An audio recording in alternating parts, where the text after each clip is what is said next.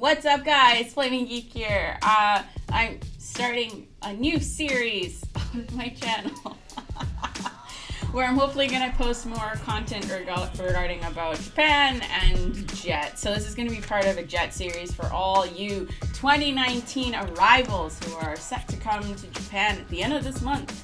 Uh, which is super, super exciting. But this is also for all you future applicants who successfully make it through the application process.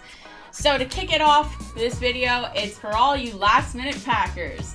How to pack for the JET program. Today marks two years since I started, like when I officially started packing before my departure day to come to Japan. My departure day, I was in group B um, this was July 30th of 2017, and my last day at work was July 15th, 2017. So that left me with basically 13 days to pack. Because two of those days it's just meetings and stuff and ceremonies. Uh, so I thought I would just give you guys a rundown what to pack. And for all you people in the future who are watching this and you want to start packing early, good for you, good strategy.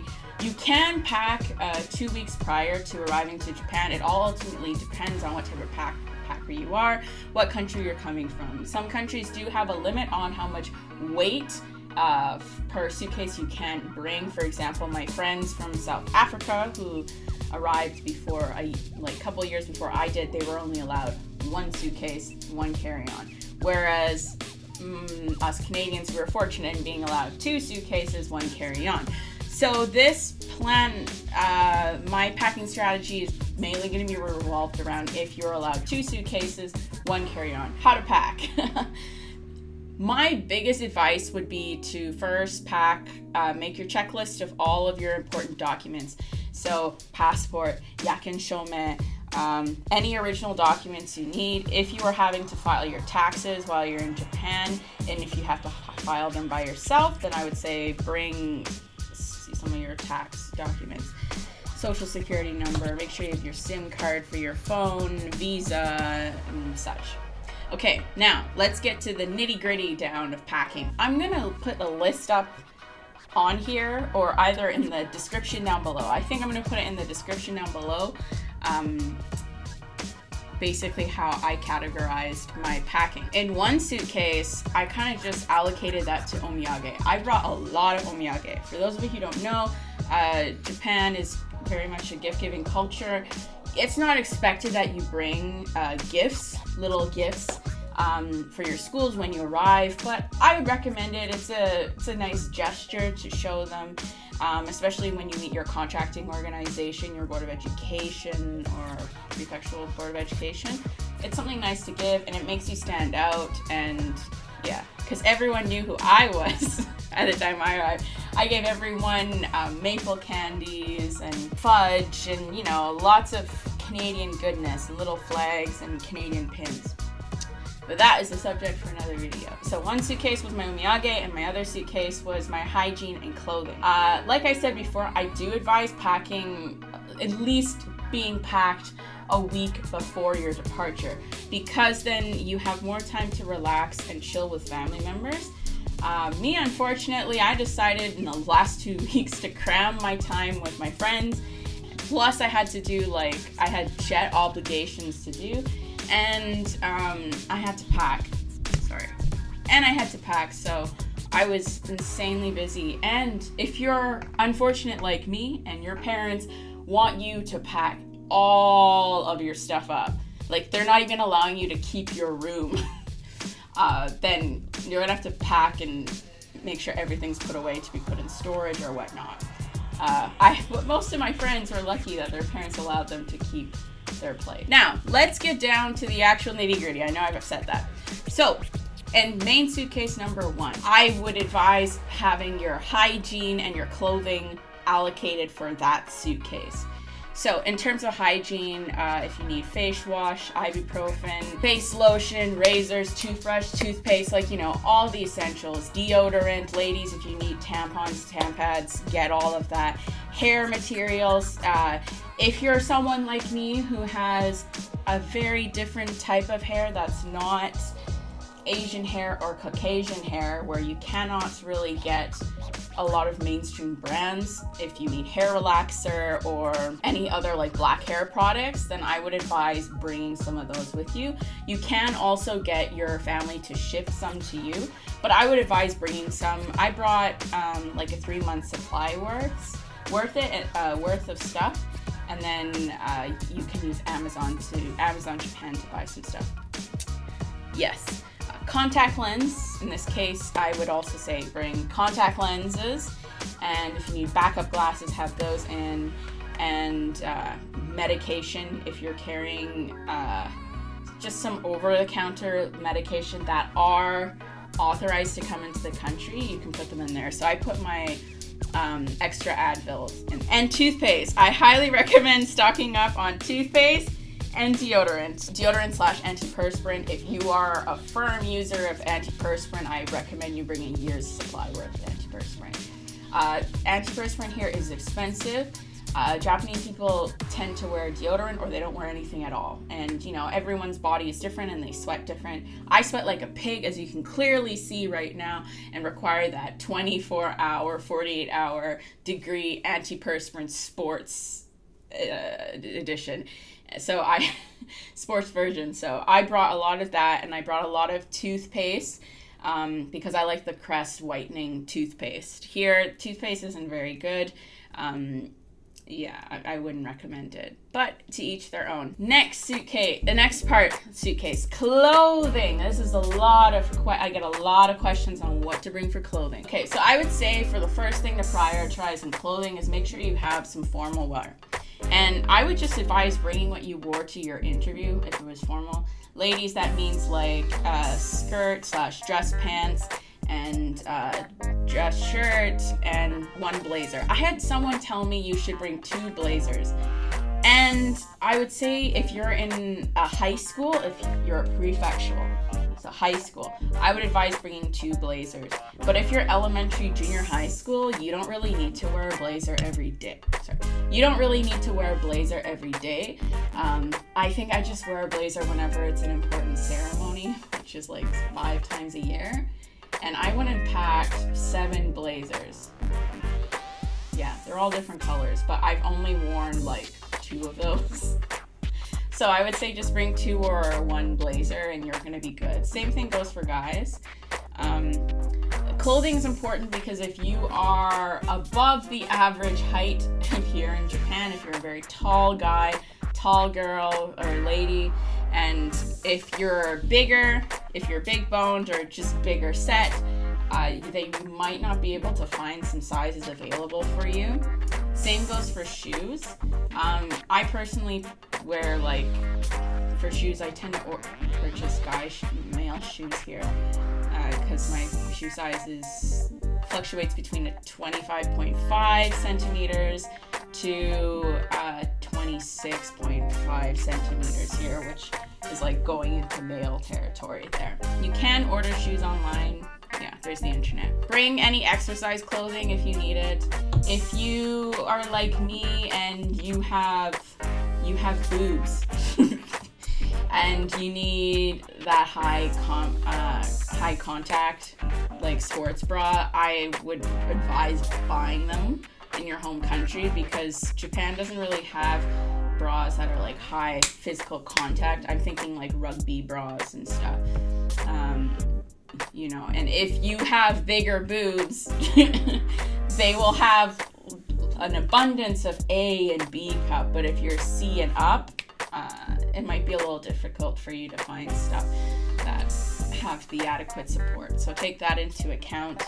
Underwear, uh, make sure you bring casual clothes. So depending on where you're going, if you're going to Hokkaido, um, you might want to also have some winter gear with you. If you're in Kyushu, like where I am, I literally, if you're from Canada, you just wear like a fall jacket, that will be fine for the entire winter. It's just like fall here.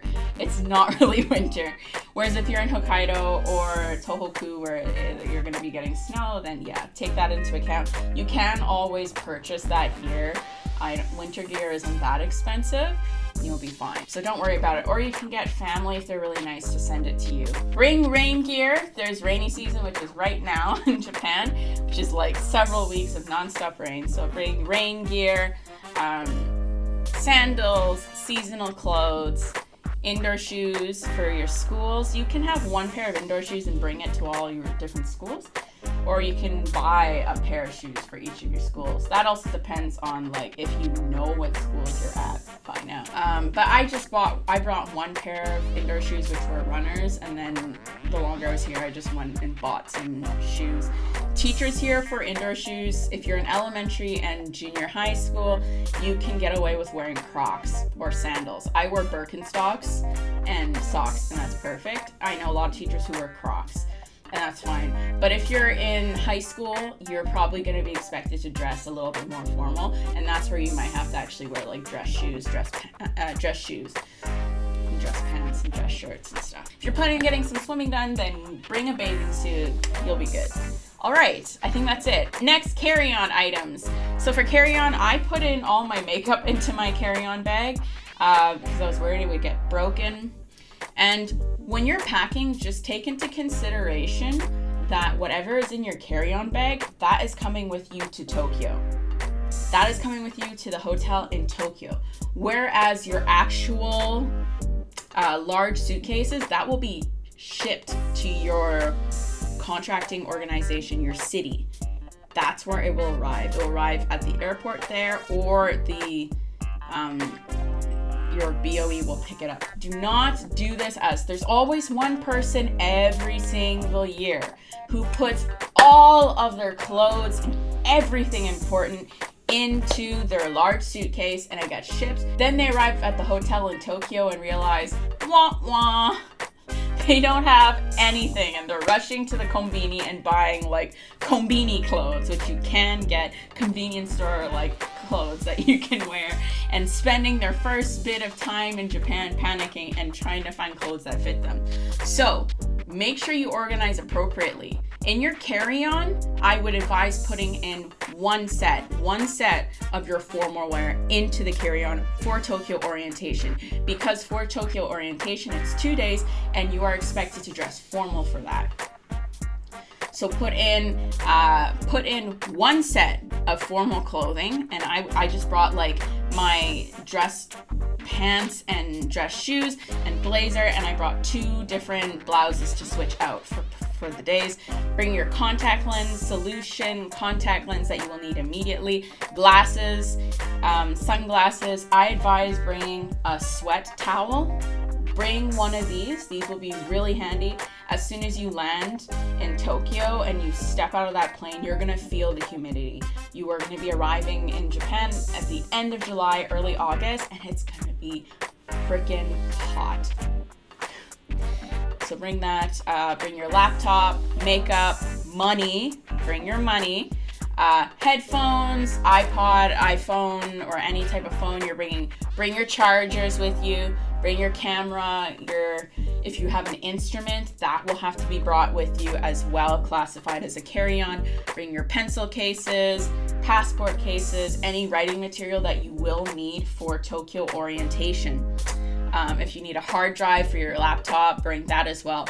Water bottle, I advise packing, just pack an empty water bottle into your carry on, and then whenever you're in the airport past security check, just fill up your water, bo- water bottle like that.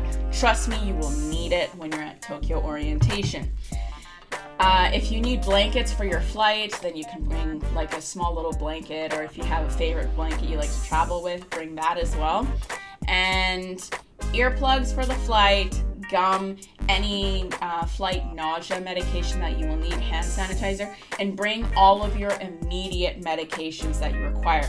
Anything that has that is prescription medication that might need to be checked by customs when you come in, bring it with your yakken shoumei and present your yakken shoumei paper.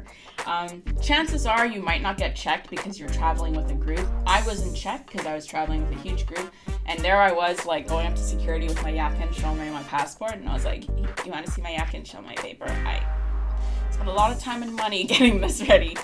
But it's fine. Just I would make sure you have those prescription medications.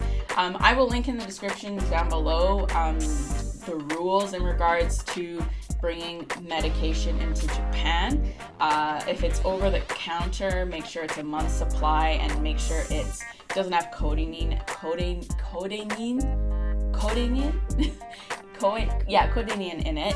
And sorry for pronouncing my accent, because uh, that is banned in Japan. Make sure it doesn't have any banned substance. If you're bringing prescription medication, make sure you're not bringing any opioids in um, as well and it's a month supply always and make sure that has been cleared and approved by the Yakken Shoumei. I think that's basically it. I think I covered most of it. Ultimately, I would advise these last two weeks if you need to get dental work done or any of that jazz like get it done also if you have any dental appliances or any internal appliances that you need to be maintained make sure you account for that as well uh, yeah don't stress too much about packing like so many clothes. I would say like I, I think I packed 10 t-shirts, like fun t-shirts and pajamas and one set of pajamas. I got yeah, I just brought a summer set of pajamas and then I purchased my winter pajamas here. There are clothing stores that cater to bigger sizes, like Shimamura here. Um, if you need like more business clothes, kind of, you can go to Uniqlo. However, Uniqlo, the sizing, yeah, if you are plus size, it's gonna be you're you're gonna have a hard time uh, at Uniqlo, but there's still options there. There's Amazon. You can still use. Um, you can purchase outfits on the internet and stuff. All right, I hope that answered all of your questions. I'm gonna leave the li- uh, the the list, my list, down in the description below. I'm not sure if I'm going to write it or if I'm going to have it in a Google Doc. You'll find out in the description down below, so feel free to check that. Uh, I hope that answered all of your questions, ladies and gentlemen. I'm gonna try to have a weekly video. I am going on vacation soon. I'm finally going back to Canada after two years, and I'll be back for a month. So um, it depends all on how fast I can edit these videos. So I have a video every week for while I'm gone. For those of you coming to Japan, good luck with your packing. Um, you can do it. it. Don't be afraid to ask for help with packing. Don't be like me and think you have to do all the packing by yourself because that's what I did. I packed all by myself, packed my room up and everything, and that was incredibly stressful. Um, ultimately, just think of in terms of clothing, don't overpack on clothes. Like, you can buy stuff here. Uh, and don't overpack too much on omiyage. Be smart and selective with your omiyage. I will have a video for omiyage coming out soon. And yes, so let me know what you thought about this video down the comments down below. I hope it was helpful for, for you. Feel free to like, comment, and subscribe to my channel. And as always, live long and prosper.